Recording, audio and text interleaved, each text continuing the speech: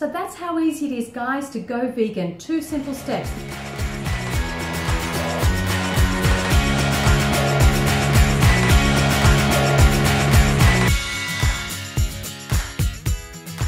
Hi guys, welcome back to another video. So we've had a heap of new subscribers come to the channel, which is fantastic. And we thought this is a great time to make a new video explaining how to go vegan. So let's start with the definition of veganism. A philosophy and way of living which seeks to exclude, as far as is possible and practicable, all forms of exploitation of and cruelty to animals for food, clothing, or any other purpose. So what does that mean? It means that veganism is not just a diet. When somebody only eats a plant-based diet, they're eating a plant-based diet. They're not necessarily vegan because veganism, as we've just heard, includes a whole host of other things.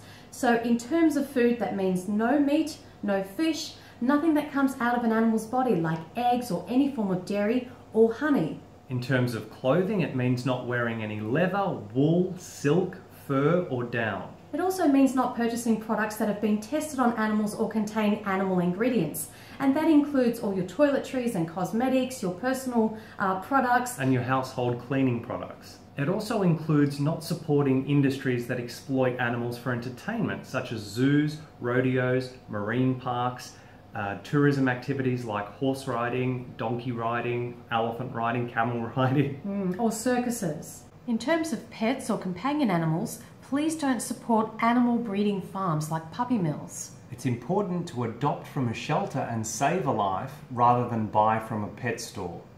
So you can see that veganism is quite a broad topic and the more you look into it, you'll realize that animals are used, abused and exploited in all kinds of ways. And although this may seem overwhelming, don't panic. Because 98% of the cruelty towards animals is towards food animals. So just by changing your diet initially is a great first step and then you can worry about all of those other things later on. Don't not do anything just because you can't do everything. So in short, veganism is simply a stance against violence towards animals. You're simply putting up your hand and saying, I will no longer pay to support this. So how do you actually go vegan? Step one is education. This is so important. We recommend watching these three videos in this particular order. Forks Over Knives for the health aspect, Cowspiracy for the environmental aspect, and Earthlings for the ethical aspect. And then after that, there are many other videos and documentaries that you can watch that will broaden your understanding of veganism. All the links for everything we're talking about and showing on the screen right now are linked down below in the description box. So please go and work through this list it is going to make your transition to veganism so much easier and it's going to help you stay vegan for life. Without the education, you don't really know why you're doing this and it's important to understand all of the aspects of what going vegan means. And we'd also like to recommend that you check out these three YouTube channels. The Vegan Activist for complete guides to vegan eating, clothing and cosmetics. Bite Size Vegan, who is like a vegan encyclopedia. For example, videos on is palm oil vegan? What about sugar? What about condoms? What about tampons? What about horseback riding? Any question you have, she's covered it. And the third YouTube channel is Nutrition Facts by Dr. Michael Greger. So any questions or concerns you may have about nutrition or health, it's most likely he's got a video on it and his website is also a fantastic resource. Again, everything we're saying is linked down below. Step two, once you've got the education, is to throw out all animal foods. And don't think, oh, I'll be wasting it if I throw it out. You need to stop looking at it as food when in actual fact it's violence and it's disease forming. And so you just want to get that out and never be tempted to eat it again. And once you've got all of those animal products out of your kitchen, out of the cupboards, out of the fridge, it's then time to go shopping and replace those foods with wonderful, wholesome plant foods like rice and pasta and potatoes and fruits and vegetables and beans and lentils. The list goes on. There are as many ways to eat vegan as there are to eat non-vegan. So you can eat a super healthy vegan diet or you can eat a junk food vegan diet or anywhere in between. What's important to note is that all of the animal foods that you currently enjoy, there are vegan alternatives for all of them. So meat and dairy and eggs, so you can use those as transitional foods if you need to. Basically, eat whatever kind of vegan diet that you enjoy, that is sustainable for you and that is going to keep you vegan for life. And even if you start off using the plant-based alternatives to all of the things Luca mentioned, you might, after a little while, decide to go to a more healthier vegan version of the diet. That's totally fine to change. Personally, we like to feel our best and so we focus a lot on health and fitness, which is why we live a high carb, low fat vegan lifestyle. We've detailed that lifestyle in the video which we'll link here and basically this is the way of eating that the plant-based doctors recommend based on science. And it's predominantly based around whole plant foods. Some meal examples. For breakfast, you could have cereal with a plant-based milk. You could have uh, oatmeal with fruit. You could have a big fruit smoothie or whole fruit. Uh, you can have toast with avocado and tomato or a spread of jam or peanut butter. You could have scrambled tofu and toast, which is the equivalent of scrambled eggs. These are just some examples. For lunch, you could enjoy sandwiches, wraps, burritos, burrito bowls, vegan sushi, rice salad, potato salad, pasta salad. Sounds pretty good. Dinner time. Potatoes, baked potatoes with various toppings, pasta, curries, soups, stir fries, noodles. The list goes on and on. So that's how easy it is, guys, to go vegan. Two simple steps. Number one, get the education. Number two, get all of those animal foods out of your house and replace them with vegan food. Now we'd like to offer you some tips which will hopefully make your transition easier.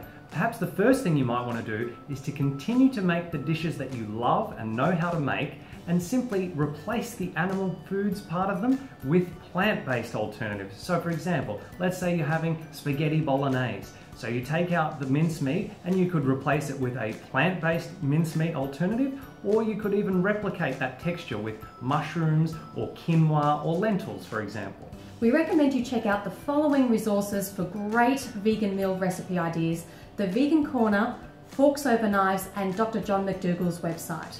It's very important that you always have some kind of food in the house. A big mistake a lot of people make is they don't replenish the cupboards and they get home from work, it's late, there's nothing in the fridge, they're starving and they just don't know what to do. They panic and they just go and order a, a pepperoni pizza or go out for a burger and, you know, you need to have foods in the house that you can go to all the time. So bags of rice, a sack of potatoes, uh, some cans of beans and lentils, uh, some bottles of tomato sauce and pasta. They're things that are going to keep for a very long time and you can quickly throw together a meal. You'll always have something to eat at home. Super, super important. Perhaps the number one reason why people who try a vegan diet don't stick with it is because they simply don't eat enough calories. Plant foods are lower in calories per volume of food than animal foods. So you need to get used to sitting down to a larger volume of food than you currently do to make sure you're getting the same number of calories as you were getting before for your energy requirements. And even if that means that you can't sit down to such a big mountain of food in one sitting, that's okay. You can break those meals up. So instead of having three square meals of a large portion, maybe you want to have four, five, or even six smaller meals throughout the day. So long as you're getting enough calories at, during the course of the day, you will feel satiated and you will get all the vitamins and minerals and everything that you need. You'll feel fantastic, you'll have the energy, and you will want to stay vegan forever. Another reason a lot of people fail with a vegan diet is because they think they have to eat a 100% raw vegan diet that includes just fruit, raw vegetables, and salad. For most people, that's going to get really old really fast. So enjoy as much raw food as you care for in a broader vegan diet that includes cooked food. It's definitely a lot more sustainable to have as much cooked food as you want and you don't need to adopt this purist, really healthy mindset of vegan equals raw. That is going to lead you down a very short vegan path. So a lot of people have questions about, will I get all of my vitamins and minerals and nutrients on a vegan diet? 100% yes you will. Again, we refer you to nutritionfacts.org by Dr. Michael Greger who can answer all of those questions for you. The only thing we recommend taking is a B12 supplement. And that's not only for vegans, that's for everybody, no matter what kind of diet you eat. We should all be supplementing with B12. And this is because B12 is not found in any food source, but rather it's produced by bacterium in the soil. And getting your B12 is as simple as taking a daily or a weekly tablet, and we'll link some information down below.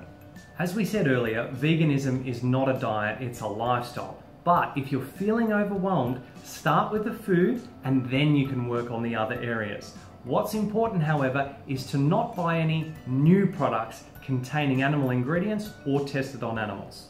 And if you think that you might need some support along your vegan journey, no problem. Social media is a wonderful place for this. We recommend uh, following people on Instagram and subscribing to vegan YouTube channels and watch as much as you can and leave your comments and questions below the videos. You'll find that vegans will jump in and help out, answer any questions, so you can learn a lot just through social media.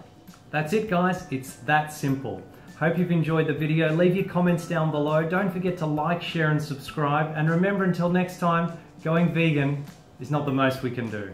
It's the least we can do. Thanks for watching. Bye guys. Saying goodbye to eggs for good. No more. Whoa, we are so thrilled with this news. Thank you so much, Carly, for being open to the